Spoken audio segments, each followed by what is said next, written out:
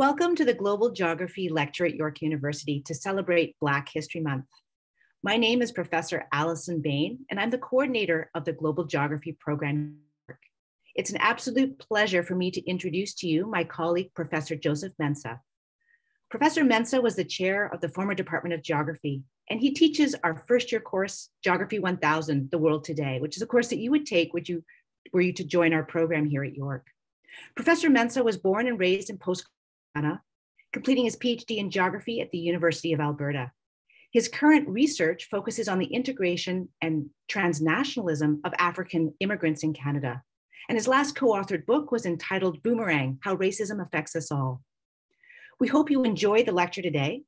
It's entitled Getting to Know the Geographies of Africa Confronting Popular Stereotypes. Thank you. Okay, thank you, Allison. Thank you, Rohina. And thank you to all the students who are, um, have made time to listen to this lecture. I will just go right away. As uh, my colleague said, the title is Getting to Know Africa. Basically, how do we confront the popular stereotypes surrounding this particular continent? Okay.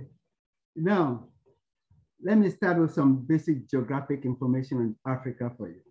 The continent has about 49 countries on the continent.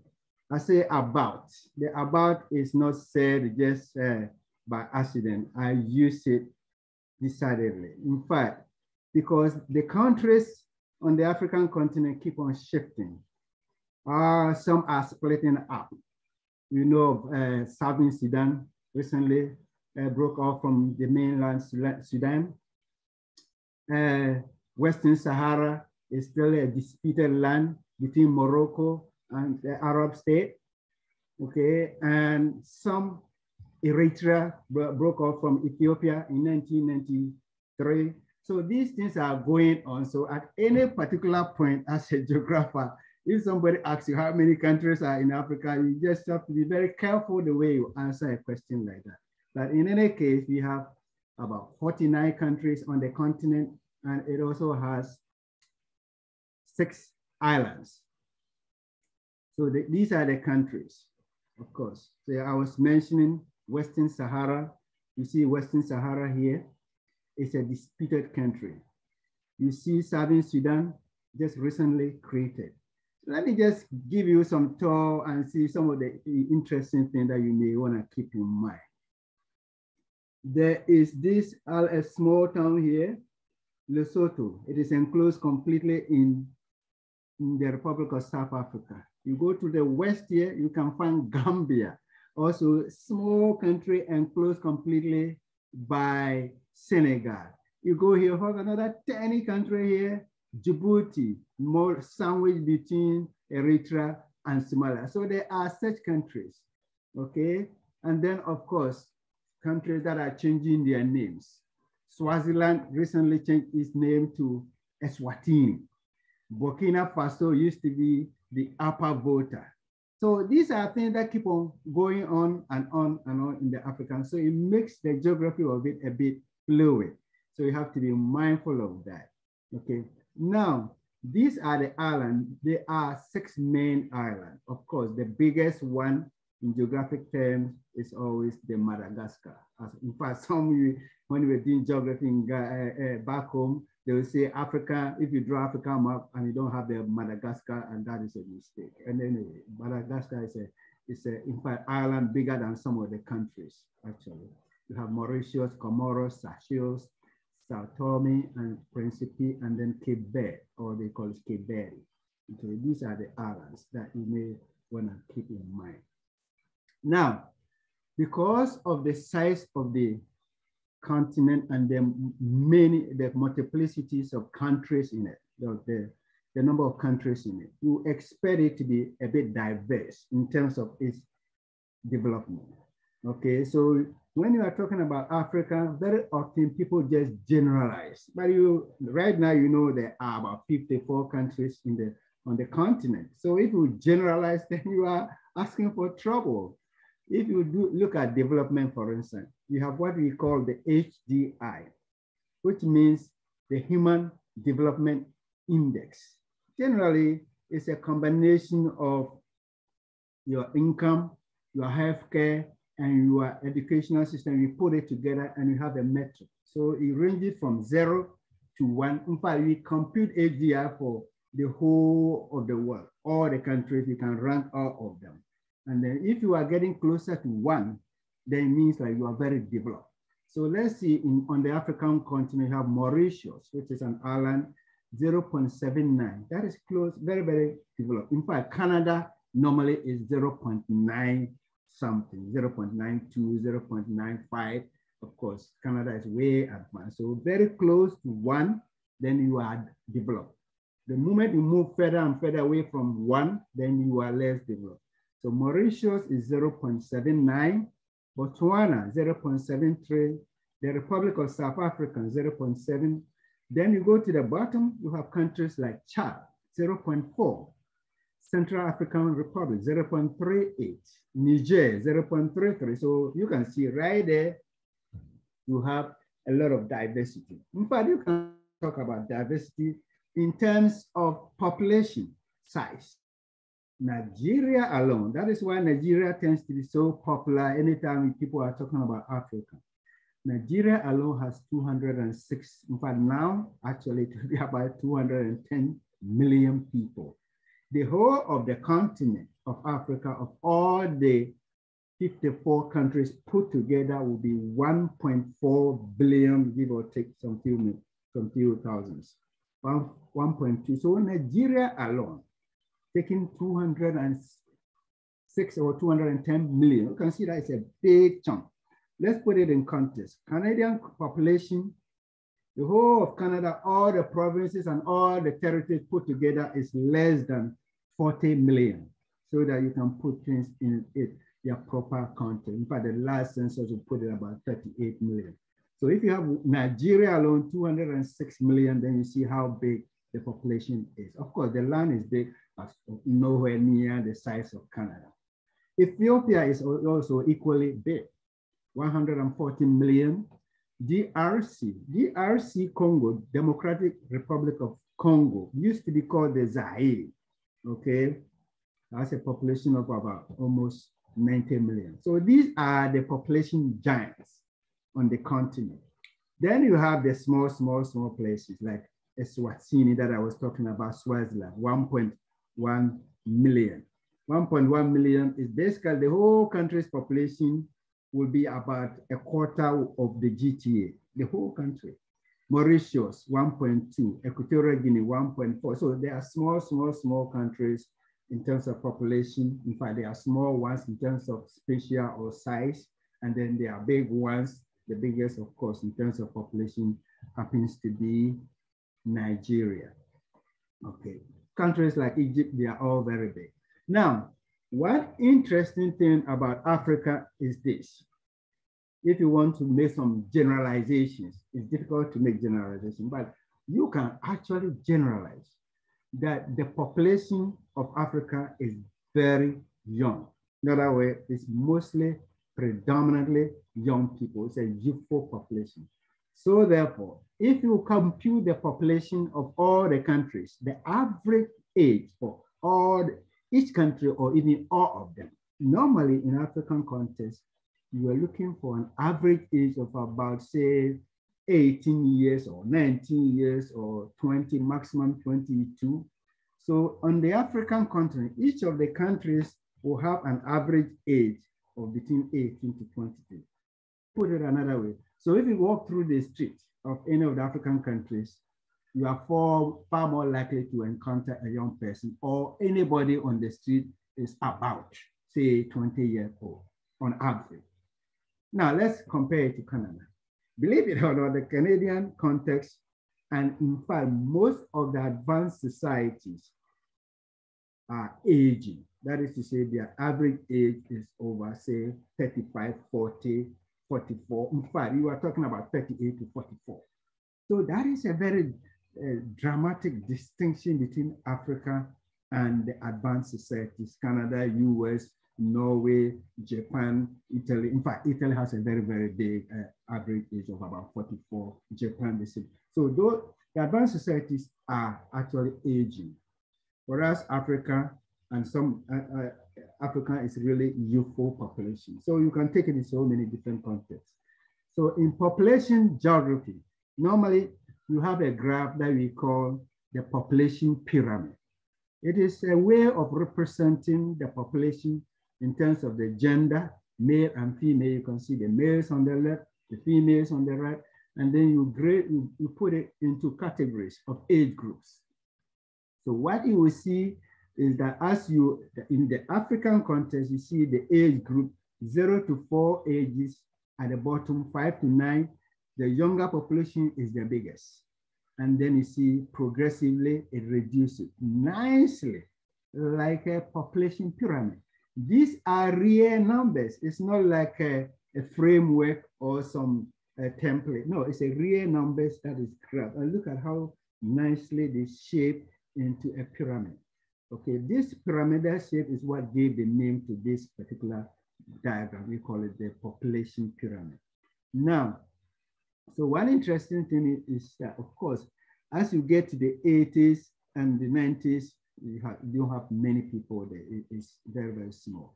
But grab, what you can pay attention to or what is also interesting is that generally speaking, especially getting to the older ages, you tend to have the population getting in favor of the females.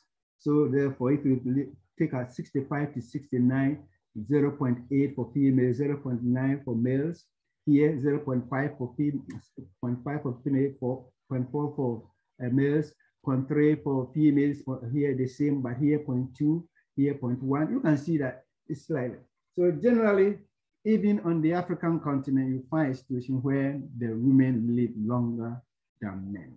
The same thing will actually apply to Canada and advanced societies. Let me see, I have a population pyramid. This diagram is also called population pyramid. but if you look at it, of course, you all know that it doesn't look like a pyramid. But the general name is population pyramid. It's still a population pyramid. But here you can see in the advanced society, this is for Europe. And it, the same pattern will be applicable to say Canada, the same will apply to US, any of the advanced countries. You find the bottom a bit smaller. In other words, the youthful population is smaller. It bulges out in the middle. And of course, the older population is bigger. So we are not having babies compared to the African countries. Okay, so you see the bottom is shrinking while the middle part is bulged out. Okay, and still, as I was saying, you can see, let me go back you can see the right side or the female population getting bigger than the male. Okay, in fact, even here it shows far more clearly. Still, in the advanced societies, you find the women outliving the, the men. So I always tell my students, when you sit down and you talk about men are stronger than women and this and this, macho, this, this, you have to be careful if you are stronger than women, how can women are outliving you, outlasting you? You have to think it. it depends on how you define strength and who is stronger than who is it. Any country you go, women outlive men. So you can't tell me you are the stronger, but meanwhile you are the one who died first. Okay, so be careful with the way you, you analyze these things. Okay, now, how come we call you still call this pyramid? We call this pyramid because when the diagram start was first drawn, way back when, even the advanced societies, their shape looked like a pyramid. It just so happened that since the 60s, 70s, the advanced societies have moved away from the pyramidal shape. In fact, in demography, you have what they call demographic. We move into a shape whereby advanced societies are shrinking in terms of the number of births. But the, in that, that, that population demographic transition divided into about four phases. The advanced stages are the, are the about fourth stage.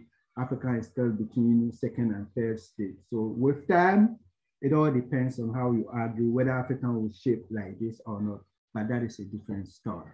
Now, let's, the whole idea of this topic, the main point is to sort of confront the stereotypes. Okay, so let me just define what is meant by stereotype. A related term is prejudice. People use stereotype and prejudice interchangeably or as though they are synonyms. You, you will take it down for interest of time. But generally, stereotype, you can define a widely held and simplified idea or image about a person or a group of people. Normally, you meet somebody, let me break it down somebody. You meet a black person. If you are stereotype the person, that means you don't know that person as an individual. You just, you just met the person. But you have a generalized, oversimplified idea about black people that you are projecting on that person. And for the most part, it's not true. It may be general in some way, but it may or may not apply to that person. If you don't give the person the chance or get to know the person, but you project that generalized idea that you know about black person to that person, then you are doing what you call, you are stereotyping. You are putting a rigid definition on that person. You are taking away that person's individuality. You are not giving the person to even explain or show who or she is, but you are just, oh, you know him, a black young person, it's likely he's playing uh, basketball, even on university campuses. You can be a pro, but people you, oh, you are here, maybe you are the, the, the basketball player, or you are the coach, or you're running, or maybe you are cleaning the, the building. You see, that is a stereotype. That is what you mean by stereotype. It goes almost everybody's stereotypes. Black stereotypes, white stereotype, every country stereotype. The, the whole idea is that you have to be mindful and try to avoid that tendency. Because as you know, is an one. I mean, I've seen blacks who cannot do play basketball, who can do not do any sport. Okay, so if you want to know why people, let's say black young people play basketball, go to Africa. They don't even play basketball. It all depends on context, circumstances. Okay, so you have to keep all these ideas in mind. So stereotypes are based on over generalization. The whole idea is it denies the person's individuality. Keep that in mind. Let me just project it further and show you why stereotypes are so hard and their impact. Okay, when you stereotype, how it affects the person and how it is so difficult to get out of the impact stereotype. Now, normally throughout this discussion about stereotype and confronting stereotype, one key concept you have to keep in mind is that of power. Everything in this type of analysis has to do with power and power difference. You can say power play, you can say power dynamics, power relation. It all is of power. For you to stereotype a person and have make it have an impact, there should be a power differential. If you don't have a power, your stereotype will not go anywhere. But if you have the power and then you stereotype the black person, we are talking about Africans and blacks, so I will use those as an example. You stereotype the black person as being lazy. Okay, you stereotype the person, so you get people are applying for a job. You see the black person in there, of course. You see the name and you see the face, and all of a sudden you tag the person in your mouth. Oh, this is an African, he's lazy. So based on that stereotype, what do you do? You move from stage one from the stereotype and you discriminate. That is to say that you put your stereotype into effect. So you will not hire that black person. Because I mean, if the person is lazy, why are you going to hire the person? You want to make profit. So you won't hire. So you have implemented your stereotype. And there, the ability to implement it has something to do with power. You are the one who holds the power to hire or not to hire. So now you use and you put a business the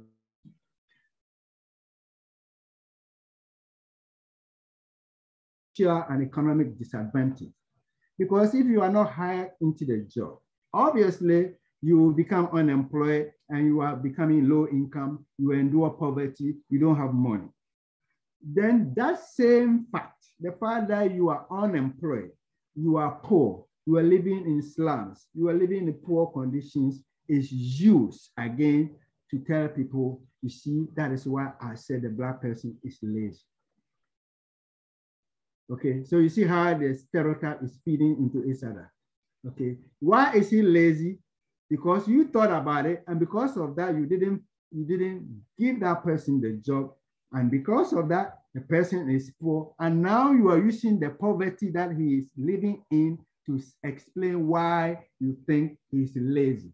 Don't you think he is poor because you don't you didn't give him the job?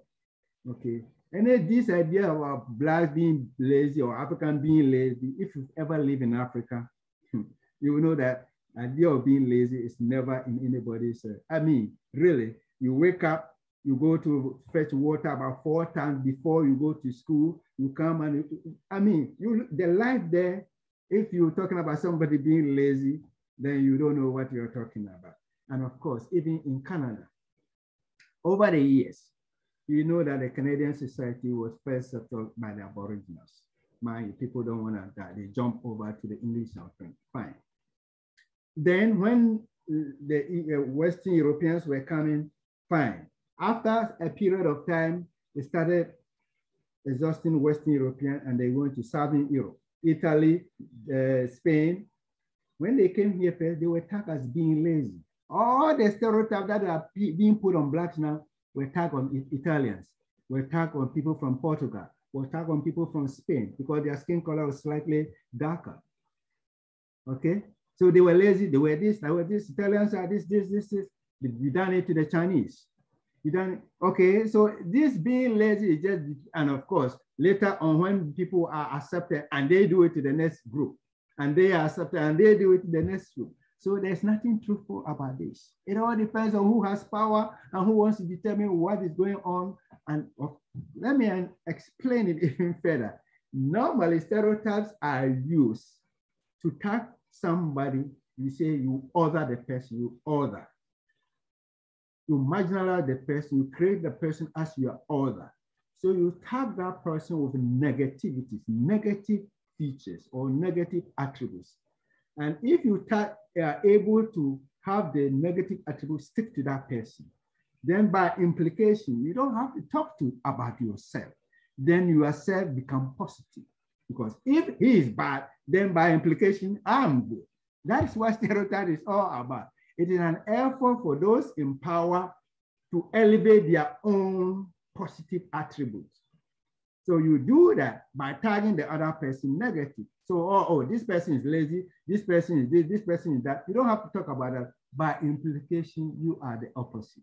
If he is lazy, then obviously you are hardworking. If this is person is this, then you are the opposite. So that is what it works. It is an effort for the majority population to elevate themselves in a positive light. That is one thing about stereotype. Okay, nonetheless, let's continue. In the African context, most of the stereotype trace to European exploration when they venture into Europe. The slavery, we know about it, the colonialism, Christianity has been part of it, okay? They are all intermingled into it. The use of color black as anything that has to do with sin in the Bible. You paint Jesus white, you paint God white, you paint the devil black, you paint demons black. So it's a, it's a, you see, it's all mixed into it. And one thing too that you have to keep in mind is that it is the production of knowledge. We are creating knowledge through all the Bible and all these books and all these theories and all this. And the production of knowledge, again, is embedded in power dynamics. You can say something today. You are just a high school student, somebody will say. I will say something, the same thing, and even say it worse. Because I'm the pro, I have the power. And what I say sticks than what you say. So what that is what I mean by knowledge has a lot to do with power. So normally those who have power are the ones who have ability to say what is true and remain true for everybody. If you don't have a power, it's difficult for what you know and what you say to, to end up being the, the, the, the prevailing thought. Okay, so therefore, how, how on earth, who saw the devil? Where, where did you see the devil that the devil was a black person? Or where did you see God? That, or, that the God, in fact, Jesus that came to live was from, from, from the Middle East. A Middle Easterner, of course, we know that a Middle Easterner is not a white person. Okay, so this is a knowledge production. You have to be mindful of it. That's how you produce knowledge. If you have power, you set everything for your advantage. You saw the African map. You can pick it up yourself. Egypt is right there. But be because Egypt did so much in terms of West civilization, very often uh, European ideas will take Egypt out of Africa and then say, okay, Middle East and North America, and so they take Egypt out. So Egypt no longer, in so many contexts, will not, will not be part of Africa. Why? Because they don't want African to be the one who did anything good. Okay, so somehow Egypt, which you can find right there with your own eye, they will gaslight it and tell you Egypt is not part of Africa. Okay, so these are all some of the things that you have to keep in mind. Power, influence, knowledge, just as knowledge influence power. And when you come to the university campus, you will talk about so many of these attributes of power, theories about power, scholars like Foucault. In fact, Foucault has a book, Knowledge Power. So these are things that you study, and I think you are you will enjoy it. But mostly, what you have to keep in mind is that you produce it in knowledge through books, and more importantly, through the social media, advertisement, the radio, the TV, the media, what we call the culture industry. You produce it and then it sticks. It sticks. So over the years, you repeat it, you repeat it, you repeat it. And even though it has no grounding in facts, it can stick to the person. Okay, so keep an idea of power in your mind. Now, in the African context or Africans, generally, the idea that they are primitive culture, the poorest, they are poor government, political instability, rural, poor education. So much so that if you come from Africa, I remember when I came to Canada first, people will ask you some questions. Those were the 80s. And I said, wow, they were amazed I, I could even speak English. Okay. But I was educated in English. Everything was done in English. And in fact, I was, I came in one year, I was able to do the master's in 12 months, far ahead of me, some of my, many of my classmates. And it, that, I mean, we are, we educate everybody and uh, just like everybody educate here, we try to do our best. But people have no idea about what's going on in Africa. Uh, somebody come from Nigeria to Canada today, you go to a high school school, so if you are not careful, depending on the teacher, they think, oh, you, you don't know anything or something. Those things are all stereotypes. Things are changing so fast. So you have to be mindful of that. Okay. That is not to say that there are no problems in Africa. Of course, there are problems everywhere, but we have far more of the problems, but you have to be mindful of what we call stereotypes. Okay. Mm -hmm. Now, common stereotype about Africans closer to nature, more emotional, sexually uninhabited, more musical, superior athletes, less intelligent, lawlessness, criminal. These are common stereotypes about blacks, in, in, especially in the West. You see a black person, you think, oh, that, that person must be an athlete. Okay, but if oh, I mean, if I'm talking to young people, so let me dwell on this for a bit. You can read about the history of, say, a sports like um, sports like basketball in the U.S. In fact, those who were the best basketball players were Jews were Jews. You can read the history. They were the top end until later on blacks even came in. Okay. And you have a situation where due to the segmentation, the labor market, you don't have a job, you have nothing to do, you live in the ghetto, you can't do anything, you are not given anywhere to go. In fact, you cannot even buy a house outside of the ghetto. So you are stuck. So what do you do? You see, that's the only thing. So they practice, they practice, they get better. It's not like they're black so they can play. No, everybody can play. They, you can relate this to Olympics.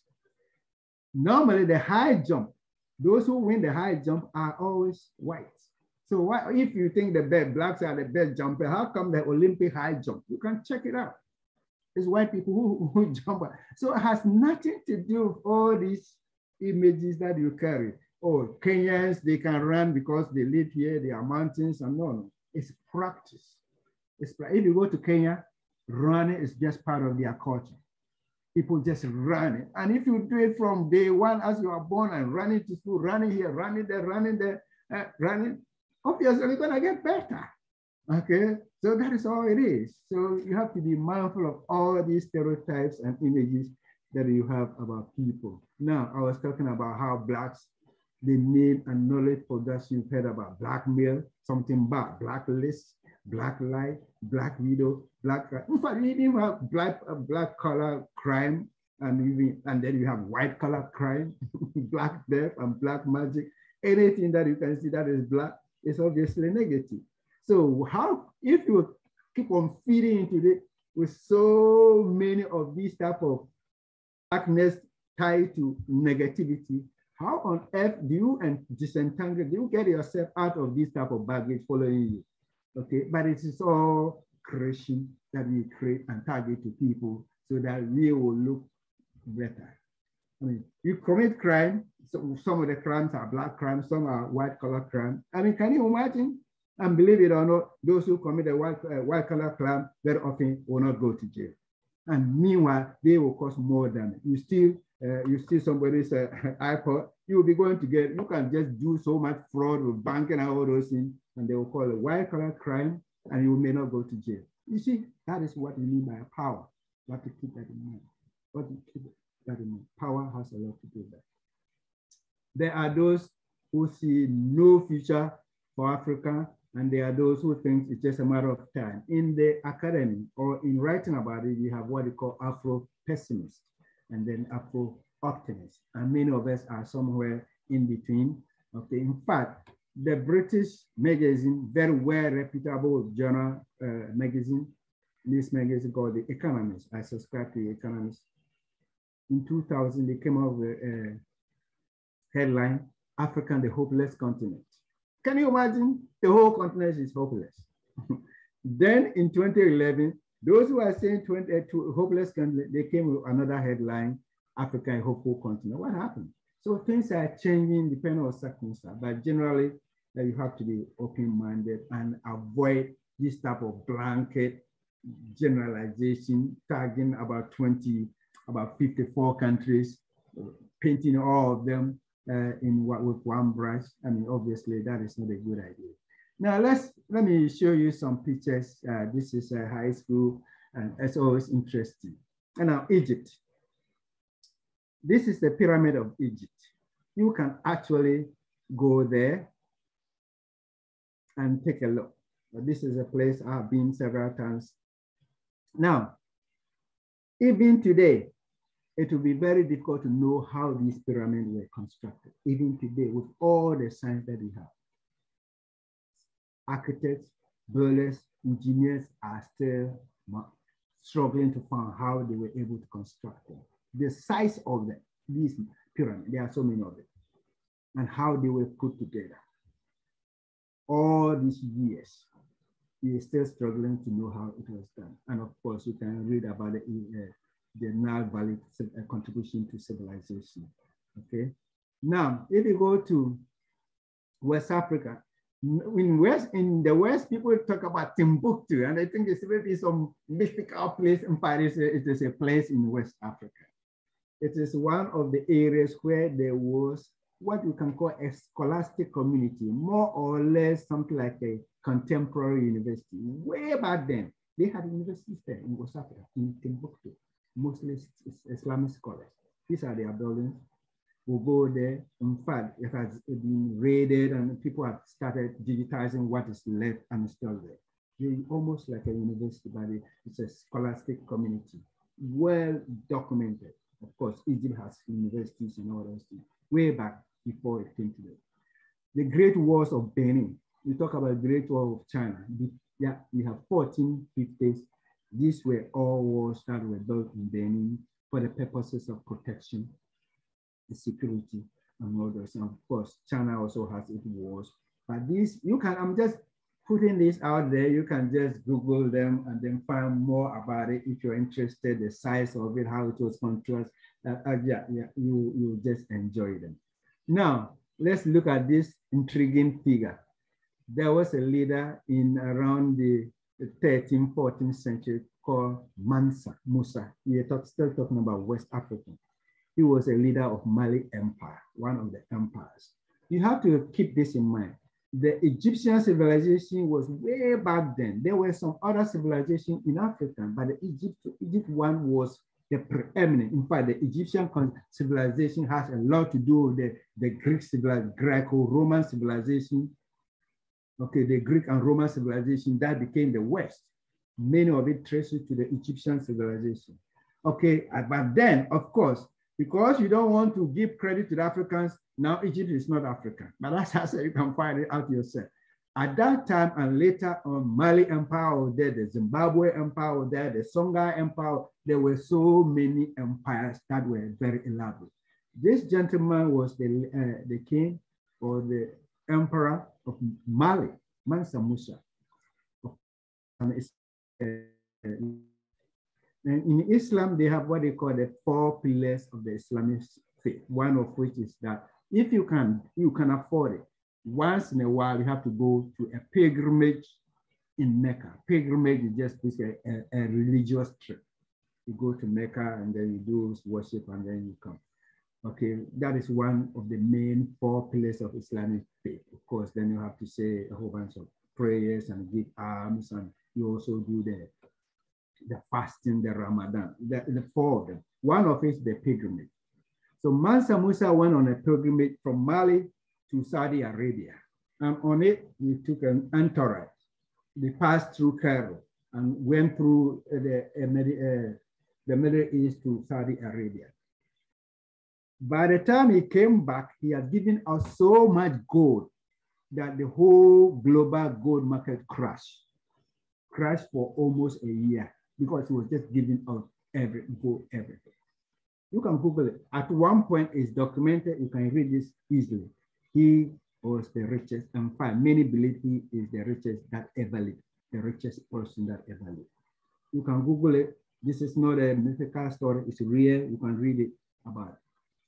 Now, this is the Great Wall of Zimbabwe. Still there, people, you can see the tourists that are there going to have a tour. These are all obviously things that were consulted by Africa. And then people will talk about how Africans have not done anything. You have no any idea about anything. That is where you have to keep in mind the idea of knowledge and how it is produced and the power dynamics embedded in it. Now, this is in Ethiopia. Look at it carefully.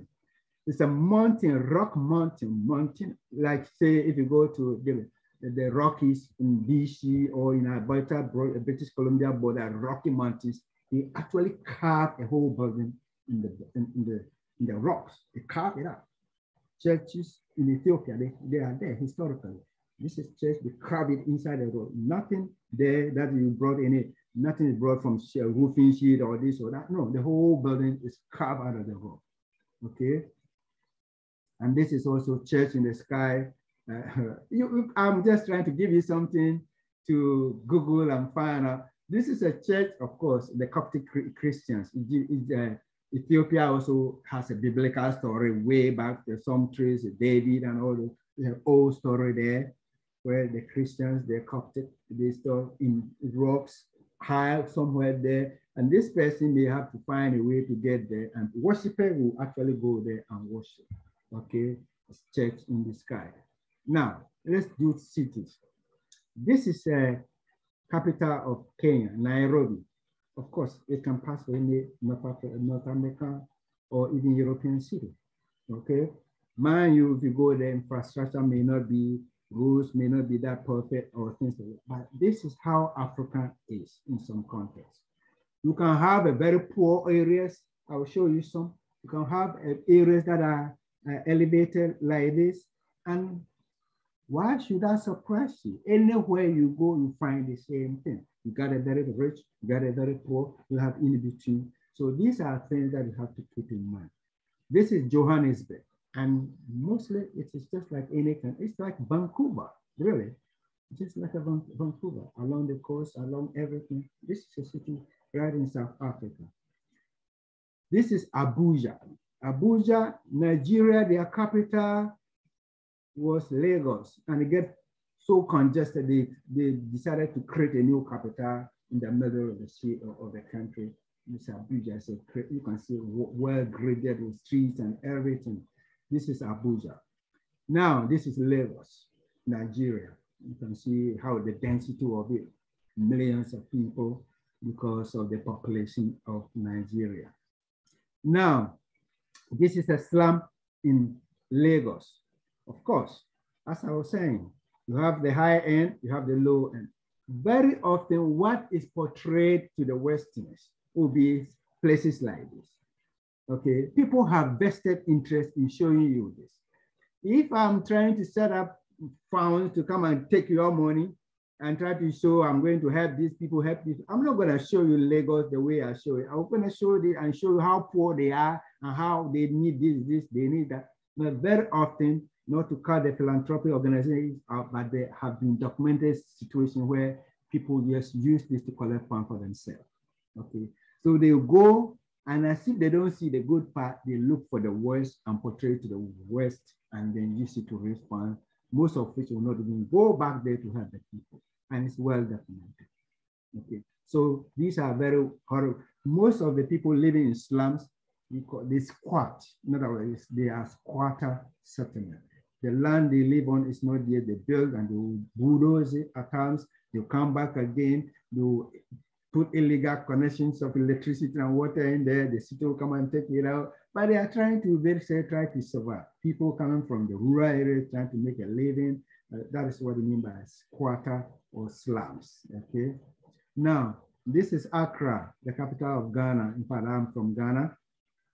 Uh, Accra. You can also find, uh, in fact, this is the University of Ghana where I did my undergraduate. You can Google about the size of the university is just so big. It could be a township, very big. This is, a, in fact, this is the library alone. The library alone will, will be bigger than some campuses here. Okay, I'm not saying it's better or whatever, but it's just there. You go in there, the facility may not be good, but people have universities like that. Now, but if you come here and they will just this stereotype as if you will never even be into a university environment. But go, you can go and check it out yourself. So you just have to open up and see what's going on. At the same time, this is a slum in Accra. Okay, just like you have the slum in uh, Lagos, you have slums in most of the big cities have their slum for people trying to make a living at the outskirts of town. This is a slum in Accra. And when it rains, flood people, and a lot of problems in this area. Okay, now this is downtown Vancouver, of course. Okay, downtown Vancouver. Just to make a balance, this is down east town, east side of Vancouver. Okay, how often do they portray this? Okay, so these are the point I'm trying to say. We have advanced countries and we have poor countries, but it is a situation where you have to keep in mind that what you can find, there are rich people in advanced countries, just as there are rich people in poor countries. Okay, maybe the scale will be different, but still, there are poor areas in advanced countries, just like this one. And you can find it in so many. Even this is Canada, you can just imagine what will go on in a place like US, if I'm from, and some of the ghettos and some of the, the negative part. This is a Surrey. That is also in British Columbia. There are people struggling to live. I mean, mind you, if you're African, you live in the slum, the weather is almost always warm. Can you imagine living here and it's winter? Okay, just put it, things in context. Okay. Now, so let me just try to end this by giving you some idea, putting it all together. How do you confront these stereotypes? How do you discuss Africa to make sense out of it? Okay, so to get rid of all these negativities, to have a very balanced perspective of the continent. Keep in mind that there is no silver bullet do not believe the hype, whether it is too good or it is too bad.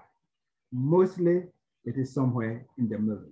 Okay, if somebody is hyping it because I'm African, I'm trying to tell you Africa is all good or all that. No, no, don't believe it. That's not true. If you see my writings, I'm one of the, the most vocal critic of what goes on on Africa in terms of the governance, in terms of the politics and the corruption. Uh, okay, it's not good okay? But at the same time, it's not bad, somewhere in between. Just like it's not good and it's not bad anywhere, okay? Now, every time we have to try to balance the good with the bad. Resist this temptation as though Africa is some exotic place of uh, South. There are real people trying to eke out living. Everything has to do with politics. Okay, in other words, everything has to do with power when you are dealing with this, Listen to who is speaking, the power dynamics involved, who has the power to say what about somebody and have it stick. Keep that in mind. Development go beyond money. Westerners, we tend to have a lot of money. The metric has to do with calculations about who has this and who has this and these material things. If you are going to deal with African context, you have to remember, you have to not judge people based on your own background and then use your background to judge them. You have to determine things on their own terms. Maybe the African doesn't want to be going back and forth, working every day without paying the mortgage back and forth. Their culture, they don't, don't like that. Where you pay, get up, you go, you come, you go, you come, you are buying house that you, you can't even sleep in. You don't even sleep in. Maybe that is not their life. So materially, they have orientation towards something else. Maybe they don't want to build a prison complex that we have in the US, okay, where you have about quarter of the black population in prisons.